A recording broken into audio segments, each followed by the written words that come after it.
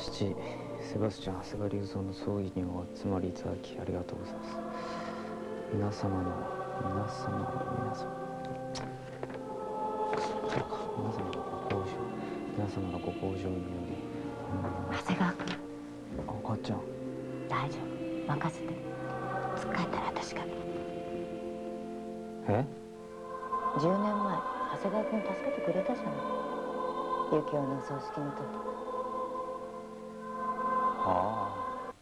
本日はお忙しい中父セバスチャン長谷川隆三の葬儀にお集まりいただきありがとうございます。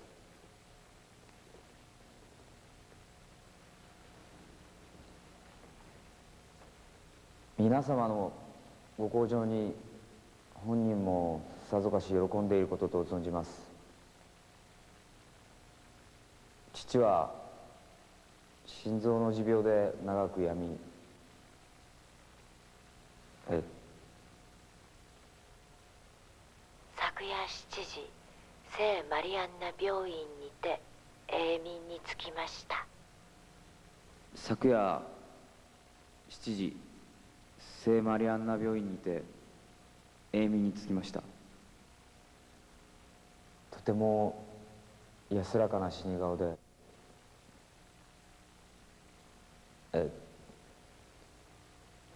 闘病生活の間も父を励まし長い闘病生活の間父を励まし父の職場復帰を祈って父の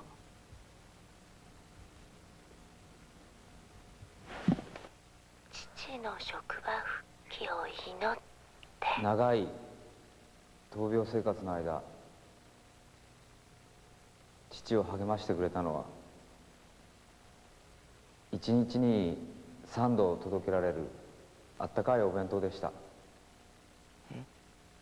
わがままな父は病院の食事がまずいと言って全く受け付けず困り果てていたある日お弁当を届けてくれた人がいました。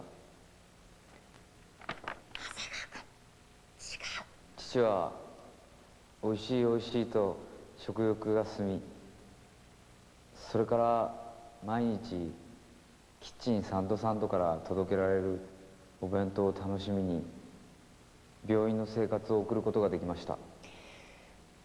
全然違うダメだこれうちのお弁当のことなんていいからあそして安らかに満ち足りて父は息を引き取りました。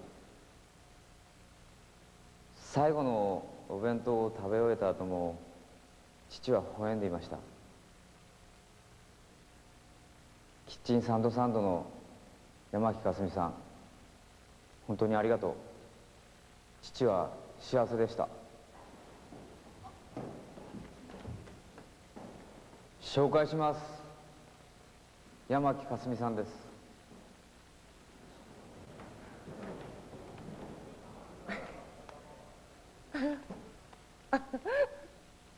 結婚してくれないか？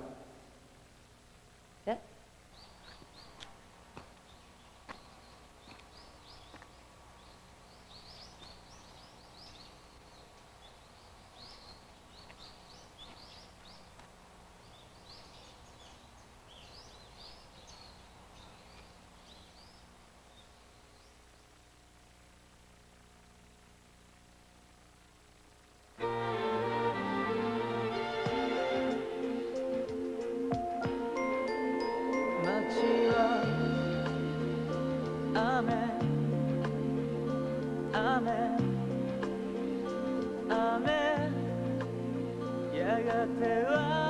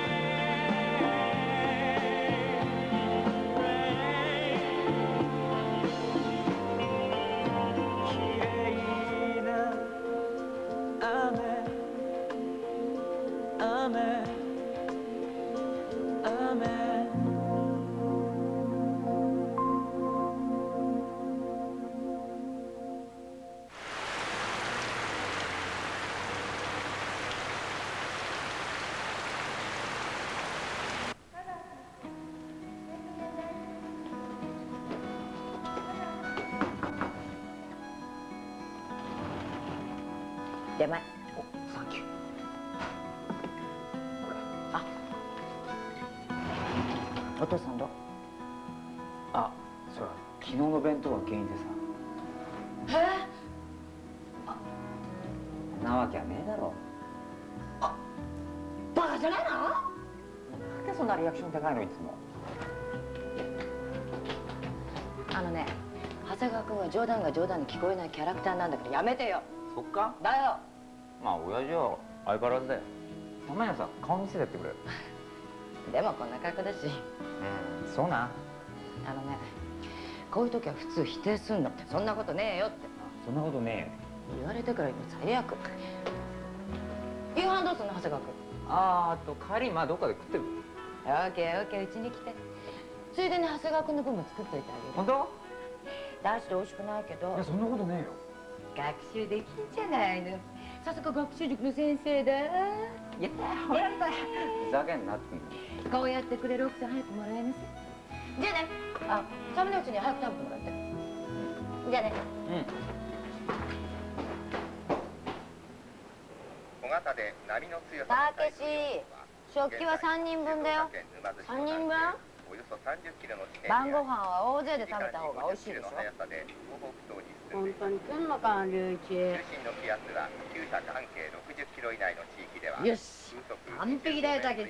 完璧だ。よお停電嘘たけし懐中電灯なかったっけかもう龍一絶対来ないよ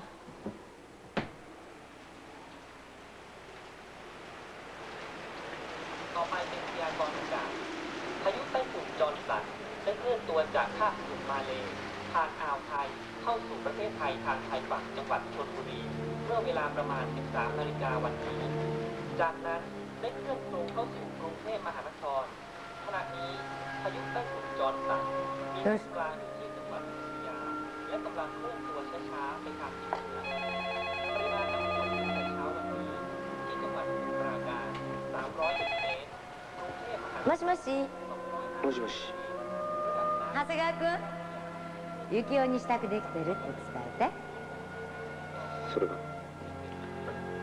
母ちゃん 落ち着いて聞いてくれ。目波川が氾濫して山木そっちに帰る途中に子供を助けようとして濁流に飲み込まれて。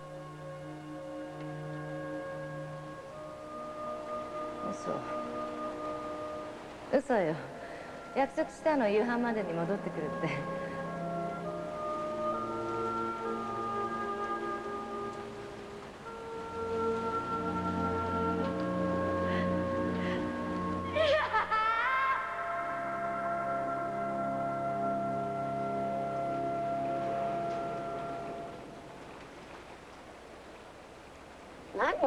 してんだよ。あー減った。ゆういち来ないよ。いただきます。ダメ。待とう。なんで？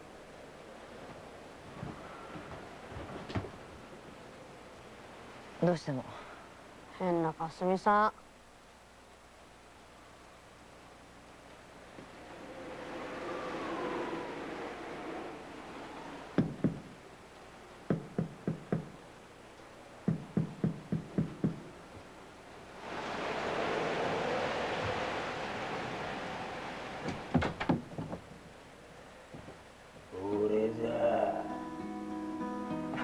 俺だよ俺。ごめんごめん遅くなってこんな日に来ることねえのに。まあ約束したからな。おいおいなんだよ電気ぐらいつけろよ。こんな時にボケかまさないでだからいいもん持ってきたじゃん。うわこんなので飯食うなんてキャンプみたいじゃん。ねよしワイン。塗っちゃうイエイ。えこれうちから持ってきたの？そうだよ。なんか急にこれのこと思い出してさタイに赴任してた時にさ買い付けですっげえ田舎に半年も二人で行かされてさ。まあ幸男と二人で。まあ今このランタンの下で飯食ってたな。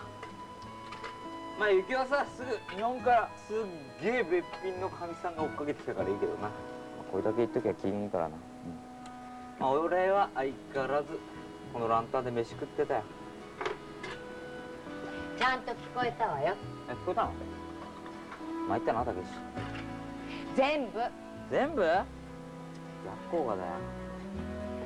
乾杯しよいえ乾杯だ。うねえ知ってる？社交界の正式な乾杯ってさ、うん。グラスぶつけちゃうと割れちゃうから上に上げるだけなんだって。知らなかった。じゃあ乾杯。乾杯。なんだもうこっちなんだよ。じゃああったかいご飯に乾杯。乾杯。イエいただきます。ーイあー美味しそう。いただきます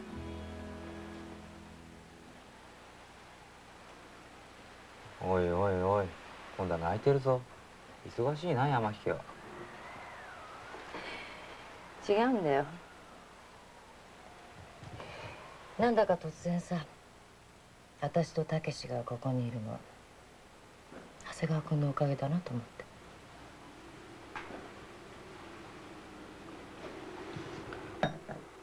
たけし俺お母さんにすごい大事な話あるんだけどいいか？いいよ。ほんと母ちゃん。俺10年間ずっと。スイート。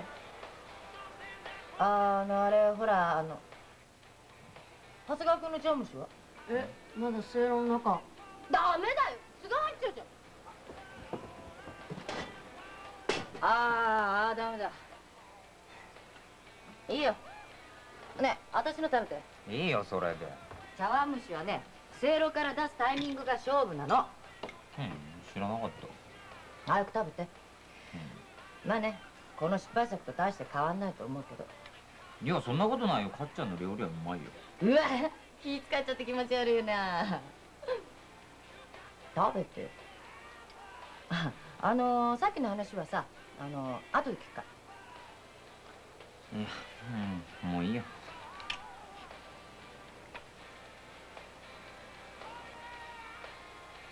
うん。うまい。弁当屋でもやりゃいいのに。あその手があったか。おおい。い。いねえよ。おいねえよ。出したでしょニューヨークの経験してる？ありがとうございます。10ヶ月後の出産失率がすんごかったの。電気消えちゃったらねすることったらね。じゃあ夕べお宅。全然ち千鳥さんは？全然あねえねえかすみさんとこは？坊やと二人っきりで心細くなかった？おかげさまで。普段は邪魔くさいけどさ台風とか来ると飼っててよかったなって思うよね旦那のこと かすみさんもさ10年頑張ってきたんだからさいい人探してもいいんじゃない？いやあの長谷川塾の先生なんかどうなの？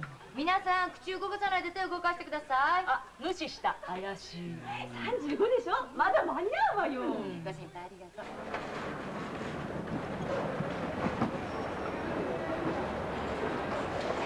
夏野菜残った夏野菜残ったよし赤ピーマンからいってみよ売れちゃったんだ。ごめん。うあじゃあこれ。たった今売れちゃった。悪いね。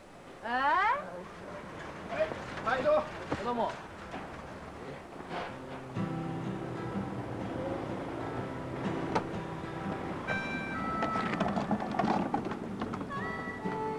ー、メニュー変更。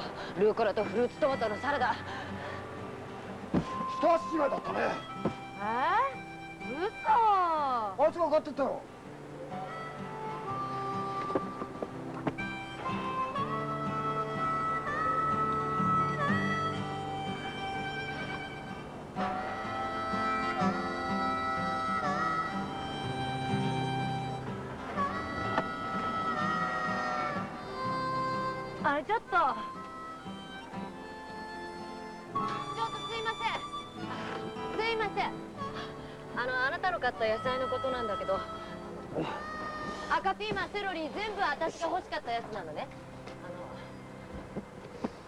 の赤ピーマンセロリは諦めた。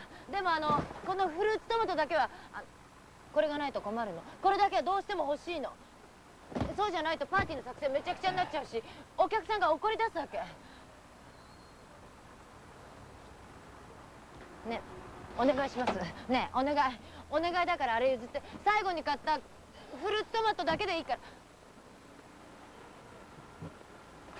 あの聞いてるのかしら？何？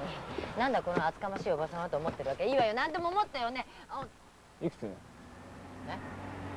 いくつ？35 31、32、33、34、35は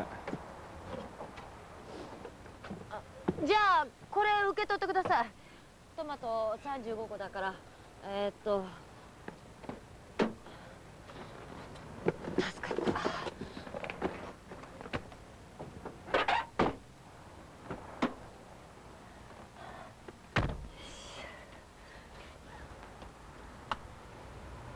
土地聞いたんじゃなかったんだ。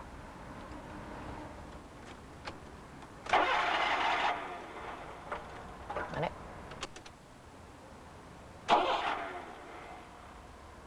嘘。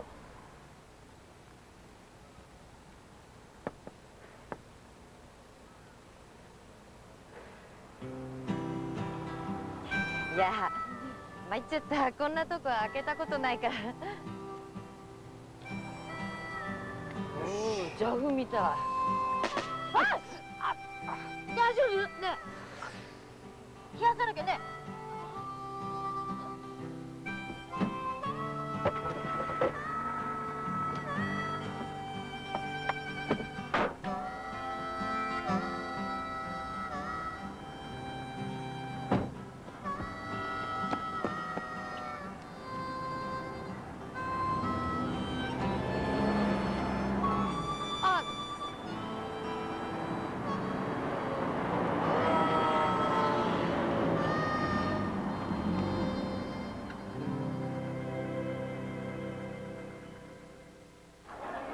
親父今日のトマト絶品だって喜んでたよ。よかった。本当はパーティーの残り物なんだけどね。だと思ったよなわけないだろ。でもとにかく全部食ってた。長谷川君駅まで送るよ本当？うん。ラッキー。今夜もうちで食べてく？いや今日は実家で食べる。なんかおふくろが話あるって言うんだよ。ひょっとしてお見合いだったりして。ちょっとちょっとリュウジリュはいはあなたにぴったりのお嬢さんがいるのよ。いいいよ。写真だけでも見てちょうだい。いい娘さんよ勉強します。まあなんて子なの？あなたあなた！だから親父は病院だっつうんだよ。分かってるわよ。細かいこと言わないで。でもまあお母さんが心配するのもわかるわね。長谷川君もいい加減いい年なんだし。なんだよ。そろそろ嫁さんもらえかよ。いつもいつも同じこと言うなっつうの。いや長谷川君意外にモテないんだよね。バーカ。かっちゃんなん知らないんだよ俺のこと。小2の時のバレンタイン7個チョコもらったんだぜ。8個です。8個。いい加減古すぎるでしょ。この話したっけ？100万回。そっかやっぱ何でも話してんだなかっちゃんには。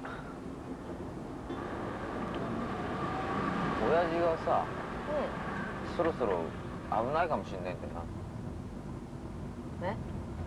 いやもう入院長いしさまあ覚悟はしてんだけど。そ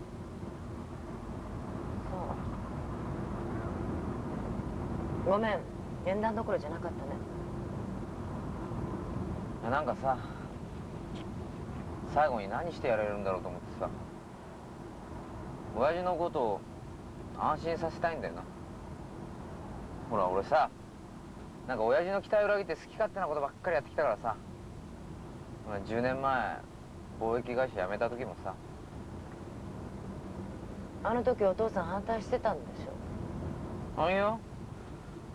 お前が決めたことなら仕方ないって別になんか理由も聞かなかったよ。いやあの時はまあ自分でそうしたかったからそうしただけで。まあそれに塾の先生の方が俺にはぴったり合ってたし。まあ後悔してないよ別に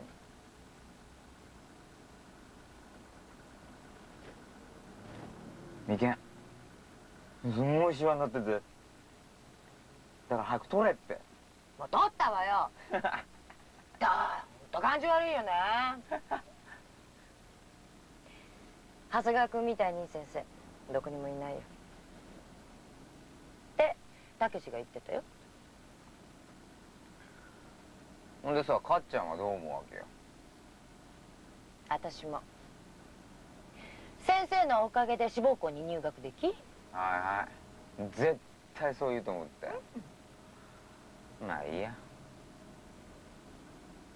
ね？黙っちゃう。爪が甘いんだよね長谷川君。何が？何が？あんまムキにならなくてもいい。のムキになんてなってねえよ。ダメだって。今後もし好きな人ができてその人の気持ちが聞きたかったらグーグー行かないともう年なんだし奥手なんて言ってられないよ。知ってるよ。よしこさん君は僕が好きですか？だからよしこってのは誰なんだよ。僕は君が好きだと泣く隆一であった。あんまりなバカンすんなよ。聞いてんのかよ。二人しか乗ってないんだから大声出さないでよ。大体かっちゃんはなどうしてそういうふうに人のこと決めつけるわけ？かっちゃんが考えてるほどな人は単純じゃないんだよ。かっちゃん大体強すぎんだよ。なんだよいきなり。僕が夢中で10年間突っ走ってきたら知らない間にこんなになっちゃったのよ。何ムキになってんだよ。ムキになんかなってないわよ。大体そっちが先にな。しないよね。どっちがだよ。降りてよ。送ってくってたらそっちなんだからな。気が変わったの。長谷川君のその顔当分見たくないわ。ああそうあった降りりゃいいんだろ。ざめんなもう二度と弁当なんて頼まないからな。ああよかった。パートのみんなも楽になるって喜ぶわ。ああそうか。よじゃあな。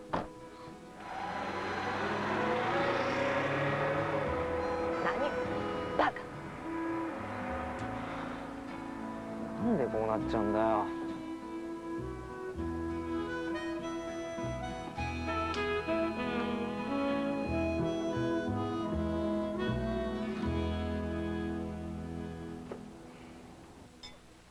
騙してた？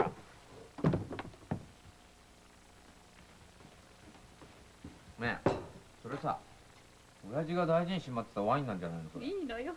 20年もお母さんのこと騙してたんだから。ど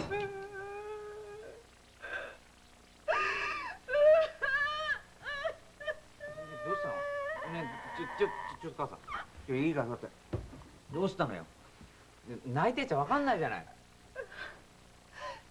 実はね。あなたには弟がいるの。腹違いの。え？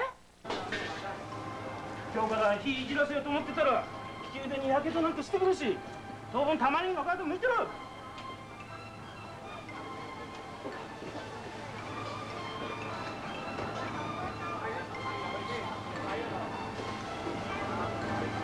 おじろ。はい。お前電話だはい。え？あんた誰？俺に父親はいねえよ。ショックでしょ。龍一も飲む？母さんね飲みすぎだよ。いいのよ飲ませてちょうだい。私もどうしていいかわけがわからなくなっちゃって今日弁護士さんに相談したの。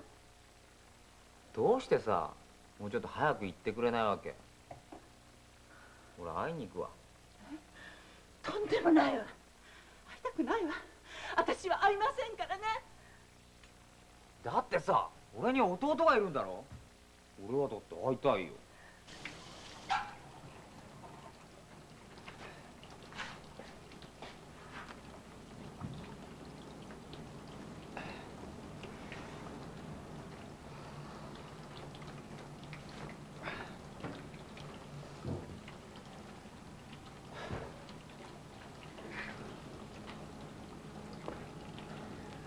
今日から昇格するんじゃなかったの？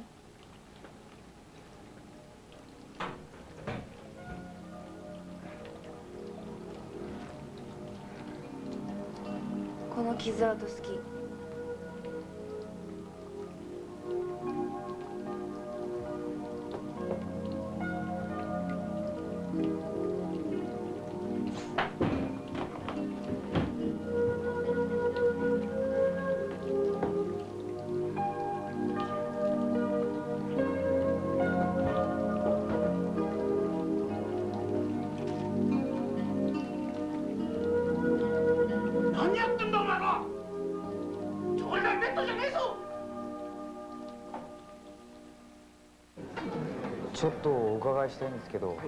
ちらの厨房で合田二郎さんって方働いてないでしょうか？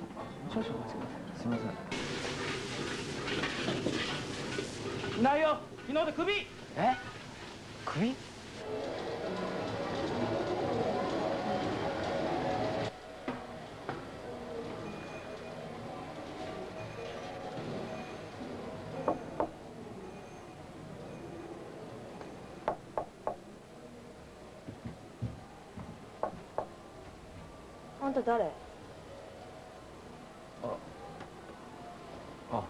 長谷川隆一と言います。あの合田二郎さんいらっしゃいますか？今日は帰ってくるかどうかわかんないよ。そうですか。じゃあ出直します。ちょっと待ってよ。次郎に何のよ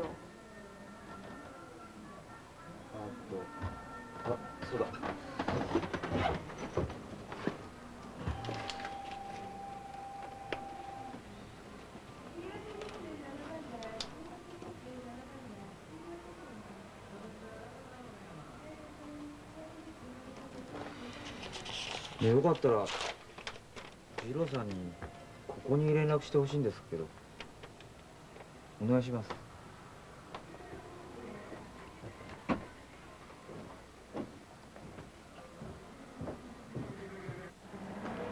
和田次郎合田二郎君調理師免許を持ってる。うんでも私今募集するは皿洗いと下働き。皿洗いと下働き。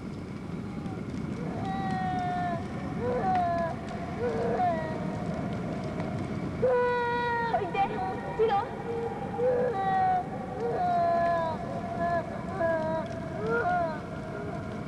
ママと一緒に行こ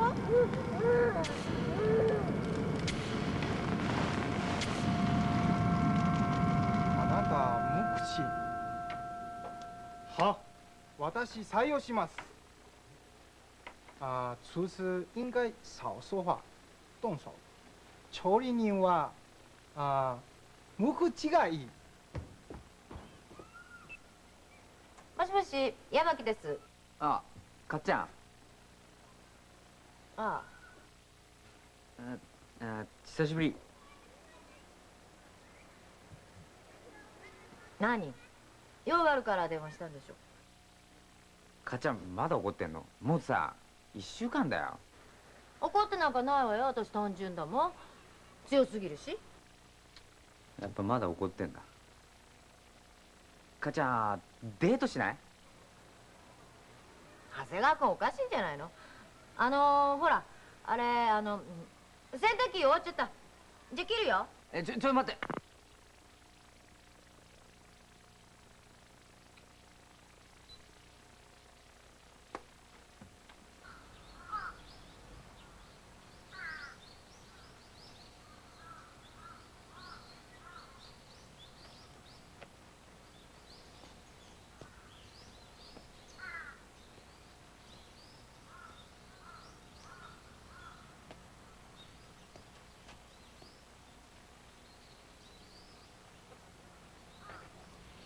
幸男に告げ口してたの。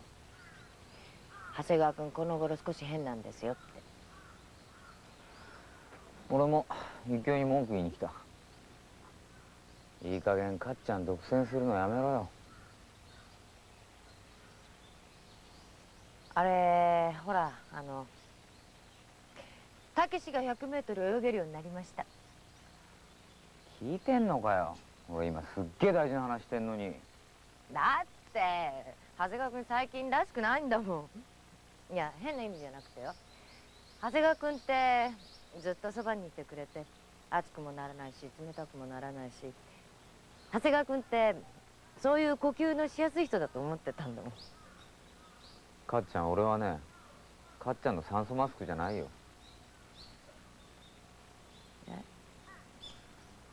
かっちゃんどうしてもっと新鮮な空気を吸おうとしないんだよいつまで10年前のショックに息を殺してるつもりなんだ？長谷川君また私に喧嘩売りに来たわけ。もっと堂々と胸張って呼吸しろよ。新しい恋するのに何臆病になってんだよ。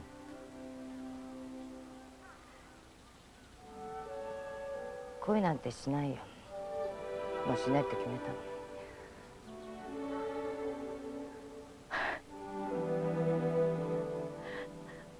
愛する人間を失うある日突然失っちゃう。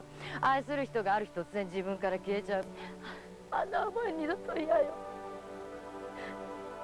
人を愛するからあんな思いしなくちゃならない。愛さなければ傷つくこともないわ。だから私決めたの。たけしだけは愛そう。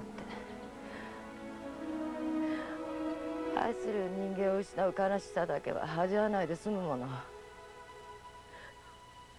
それでいいじゃない。俺は嫌だよ。一歩も前に進もうとしないかっちゃん見てるなんて俺は嫌だ。ほっといてよ。ほっとけないんだよ。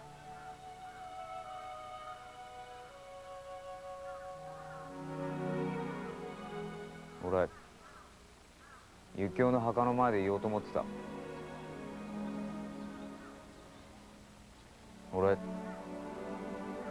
10年間ずっと。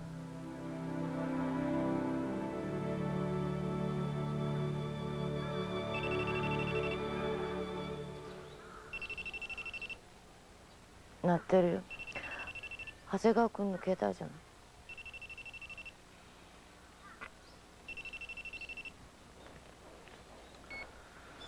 はい。もしもし。龍七？お父さんが。え？既得なの。すぐ病院に戻って。分かった。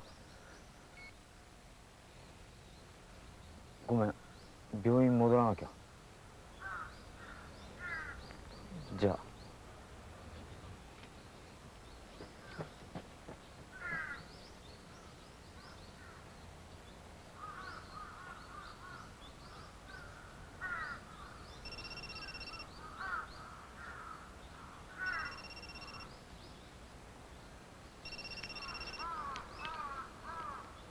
もしもし。もしもしかすみさん？酒井です。千鳥さんどうしたの？ごめんなさい。私ったらうっかりして28日の8時の注文を受けちゃったんです。28日って今日ですよね。すいません。だって今日休みじゃない。本当にすいません。最初は30日で注文を受けてたんですけどその後電話があって28日に変更って言われて私いい分かった。あのあの今すぐ行くからあのあなた今どこいるの？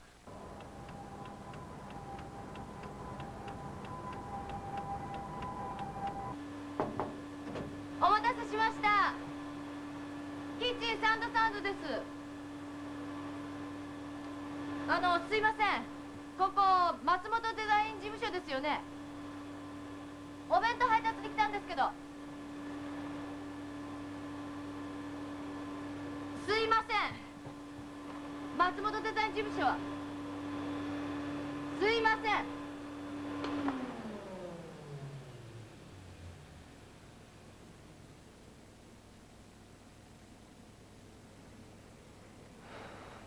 この上ありがとう。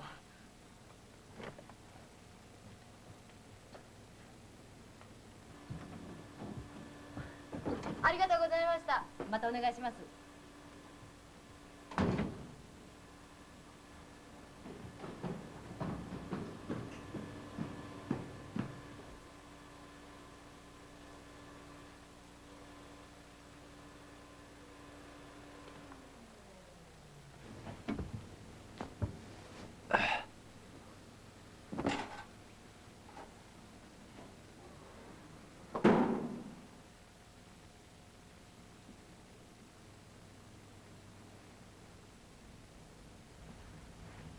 何？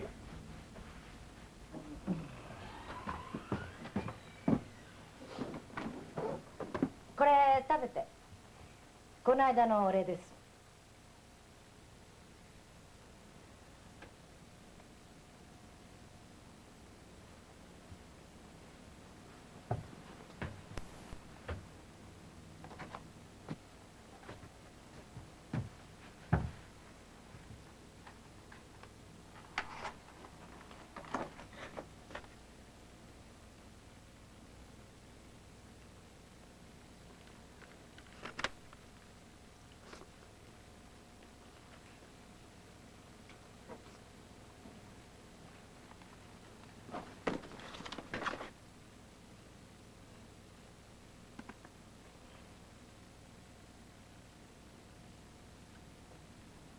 ここで何やってんの？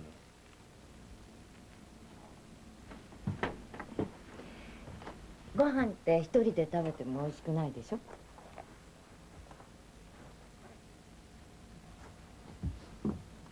卵焼き好き？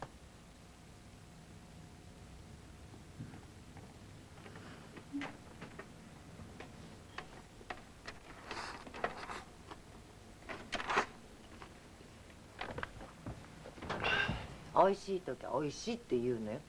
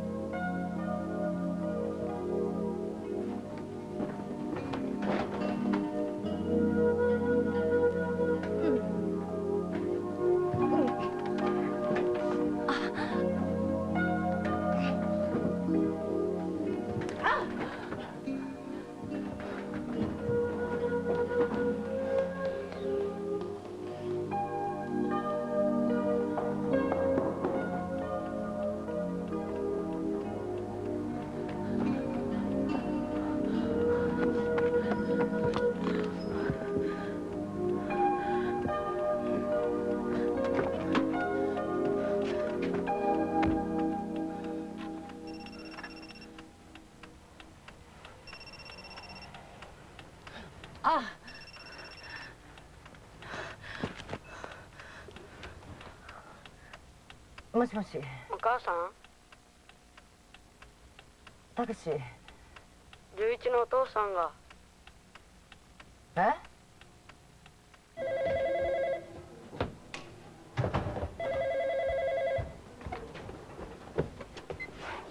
はい。合田二郎さんですか？はい。あよかった。やっとつながった。長谷川隆一と言います。父の長谷川隆三がたった今息を引き取りました。あなたに葬儀に出てほしいんですけど。誰の？父です。僕たちの。明日深沢カトリック教会まで来てください。お願いします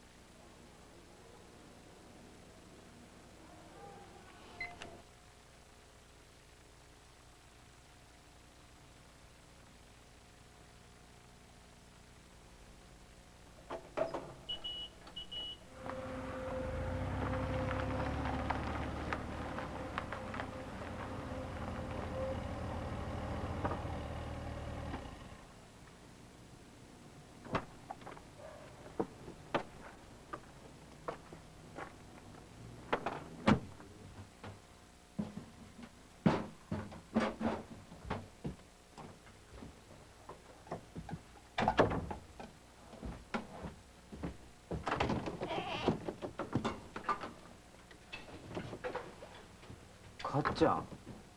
相変わらず不用心ね。玄関開いてたから入ったわよ。何してんだ？よし。と座って。何にも食べてないんでしょ？卵がゆだ。うまそう。どんな時でもサンドサンドちゃんとご飯を食べなきゃダメだって長谷川君10年前に言ったじゃない。そうだっけ？あの時あんまり悲しくてパニックを起こして朝も昼も夜も泣いてばっかりいたら長谷川君家に来てご飯炊いてくれて。母ちゃんはサンドサンドお腹の赤ちゃんの分も2人分食べなきゃダメだって。その時食べたご飯涙が止まるほど美味しくて。あああったかいご飯って人を元気にするんだな。その元気のもとを作る仕事なら自分にもできるのかもしれないなって。思って。お弁当屋さんやろって。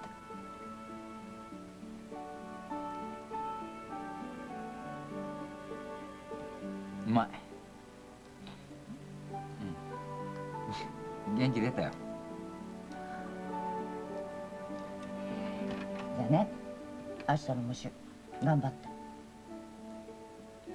元気の元がついてるか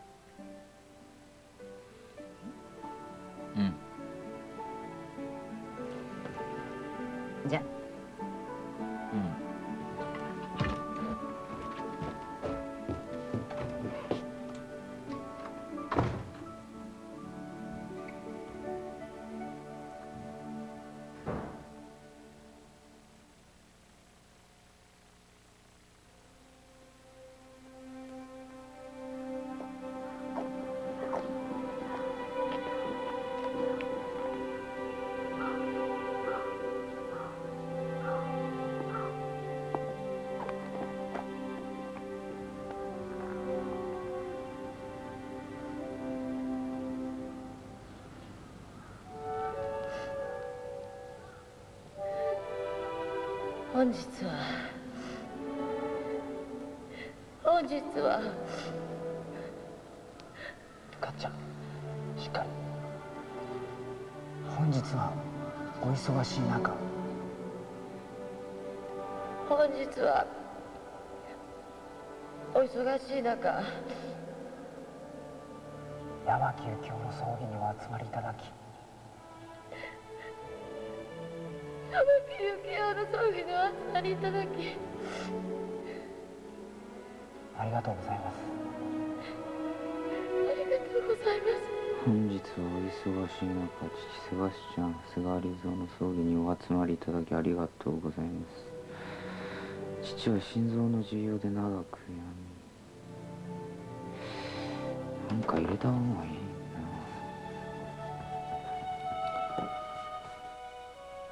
父はおいしいおいしいと食欲が進みそれから毎日キッチンサンドサンドから届けられるお弁当を楽しみに病院の生活を送ることができました。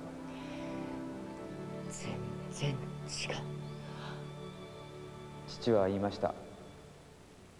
このお弁当はあったかい女の味がする病気の人間も不幸な人間の心もあったかくする。ご飯とおかずがこのお弁当には詰まってる。ダメだこれうちのお弁当のことなんていいから。あ。そして安らかに満ち足りて父は息を引き取りました。最後のお弁当を食べ終えた後も父は微笑んでいました。キッチンサンドサンドの山木かすみさん本当にありがとう。父は幸せでした。私のことはいいから。紹介します。山木かすみさんです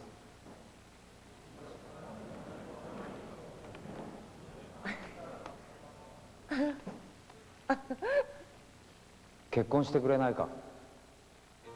え？結婚してくれないか？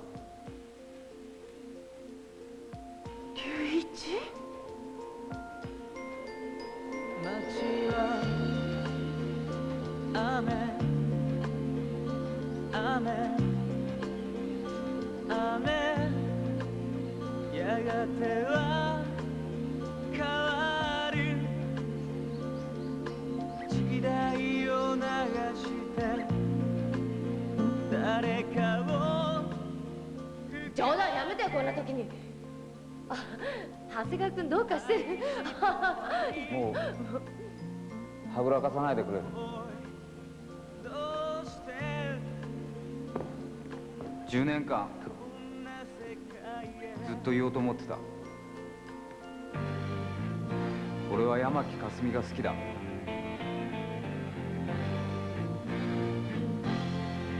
結婚してくれ。